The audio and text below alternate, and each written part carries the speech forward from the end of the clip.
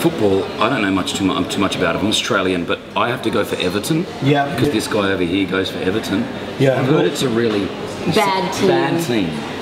Uh, no, I mean it's produced the uh, current England captain uh, Wayne Rooney. The guy played played uh, on his 15th birthday uh, first team football for Everton. So no, it's not that bad. I think what you've got to do and understand is what they've nursed from that stable.